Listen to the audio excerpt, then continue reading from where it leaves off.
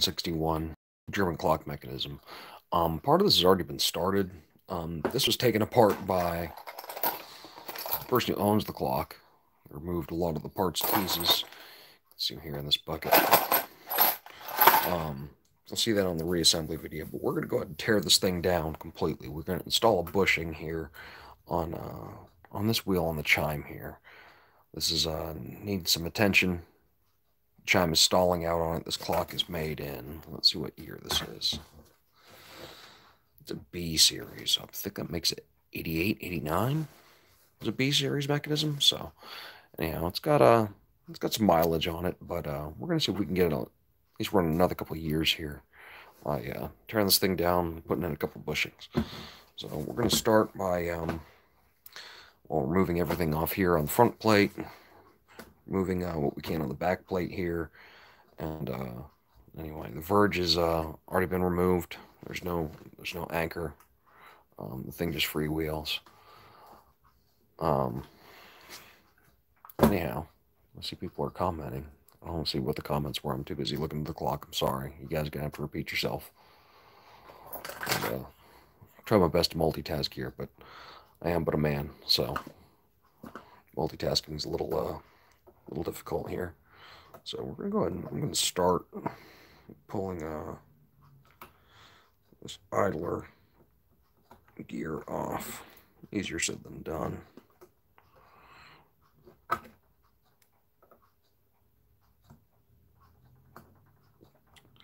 Removing this E-clip, you want to make sure it doesn't fly across the room, so you may want to put some uh, something on the back side of it while you're trying to pull it off here.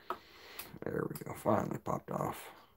This thing's go flying off with uh, pretty incredible speed, so anyhow. Pull that off. And this little washer. Um, unlike what I'm doing here, you really probably want to come make good notes. Pulling this thing apart. Pay attention to where what goes where, what when why. Um, because once you get this thing apart, which happens pretty easily, getting it back together is the uh, the real trick. Pull that off. Pull this off.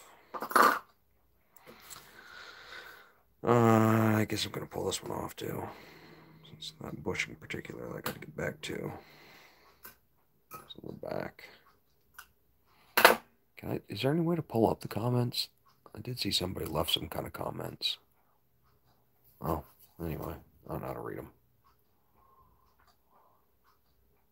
Oh, hey Jake. That's I don't know if you're even watching anymore. It, it's going well. It's uh another day of fun and excitement.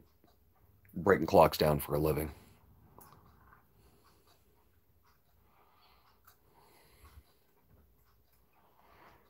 Okay. Oh, that's not going to come off till we pull off these two cams right here. I'm going to pull off this E-clip here.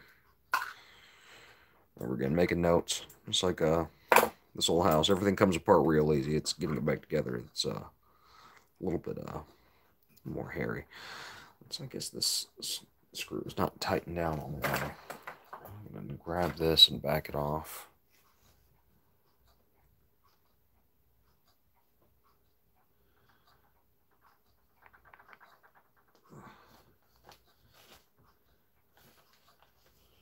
All right.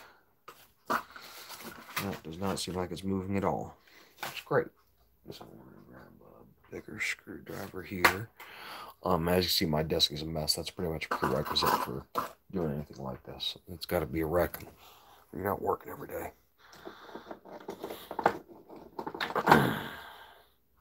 There's some kind of saying about clean desk is a sign of a disorganized mind. Good gracious, I could find just about every single one I'm looking for, except for what I'm looking for. Let me see what we got. Oh, gonna have to make this work then. So let's see. This over here. All right.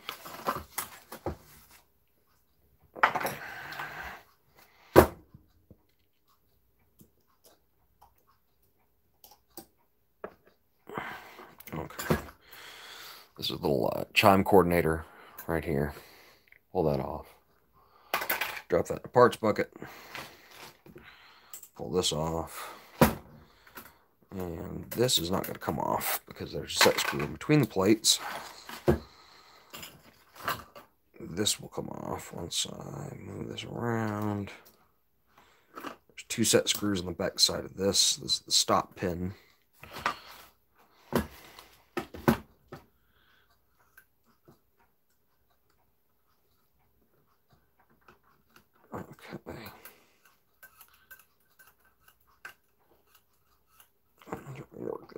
loose. There we go. It get a little tight with the set screw and gouges inside of it. Alright, so we got all that off. Can we get this out yet? No. Close but no cigar. Well, eh, maybe I could slip it through in the little notch right there. Come out. Nope. Okay, of course not. Because I want you to. So there's another little set screw here in the plates. Let's see if I can turn that around on the camera. How do I shut down the chat menu? There we go. Okay. Ah, perfect. You see a little set screw right here. Pull that set screw out. Again, anybody tuning in, this is um not entirely breakdown video. I'm not trying to mislead anybody here, but the uh, the cable drum's already pulled out, and this thing's got to come completely apart anyway. So I figured I'd uh I'd share with everybody. I'll put that collet and that set screw back on here. And uh, let's see. Tighten that on.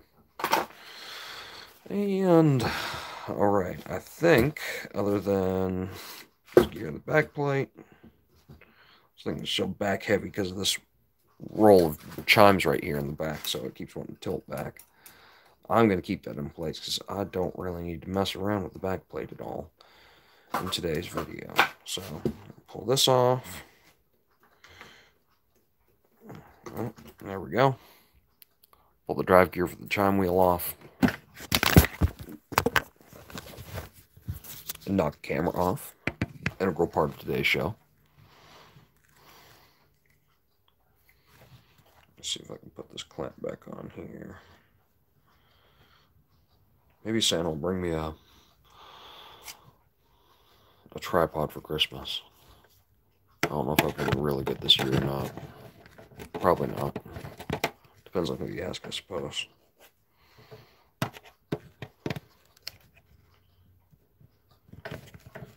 There we go.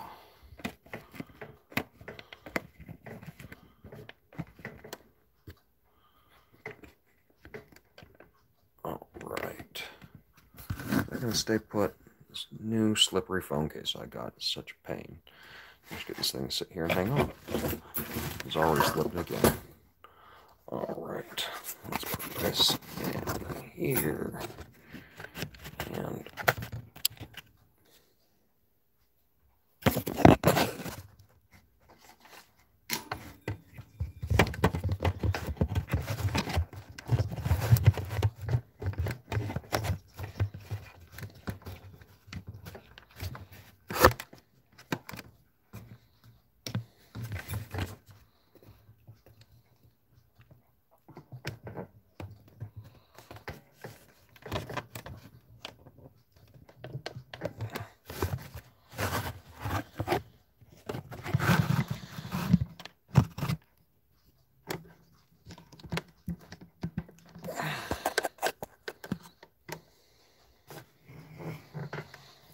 Okay. I think we're actually locked back on here now. I'm just trying not to touch the phone or the clamp. Anyhow, now that we made a big, epic mess here in front of us, I'm trying to find a uh, wrench that's about the same size. Oh, perfect. Beautiful. Hollywood magic right there. I kid. Oh, can pull this off too. Don't lose this little spring. It's right here on this lever. Come on, camera, focus. Focus. The camera needs some Adderall here. a little spring. Right about there. Okay, I'm going to drop that lever in the bucket too. You know what? And uh, just because I'm feeling froggy, let's go and pull off the uh, chime selector lever too. That's going to be in the way. I'll put the bushing in. Let's see. Got that hung onto the back. Now I'm pulling off these four nuts.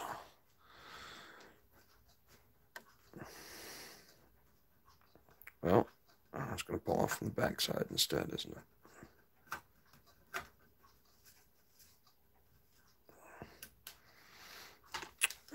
Let's see. Now that this pillar post is completely loose. Oh, there's nothing on the back there. I'll explain a lot. Okay, I'm to take um, reach in there with a pair of pliers. Try to hang on to this. Perfect. Okay. Onto that from the inside. Pull this off.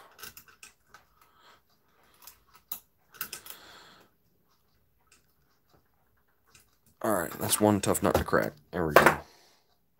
All about the jokes and jokes here. All right, I'm going to pull off the other four, which are going to be very easy. Also, I'm going to pull off this um this piece called gathering pallet. This is something you're going to want a, uh, a puller on. This gathering pallet picks up the uh, strike rack. Oh, hey, look, I don't even need the puller. Beautiful. Well, half the work's done for me here. All right, well, I guess this is a video about a semi-complete breakdown. This poor clock's in some trouble. I'm to get this thing all fixed up here. Okay, now, here's the big show. Everybody's ready for it and find something that's tall enough to uh, to prop this up. You know what, let's, uh, let's use this. Okay. All these moving parts and pieces. And wait for it.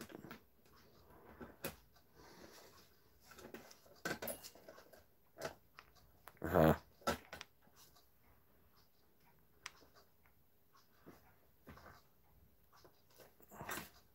One now.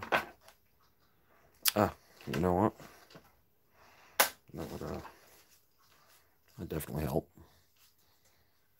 Just uh not pay any attention to the man behind the curtain.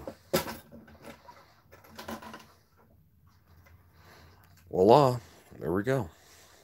You have the entire inside of a Hermle 1161 050. Take a picture so it lasts longer.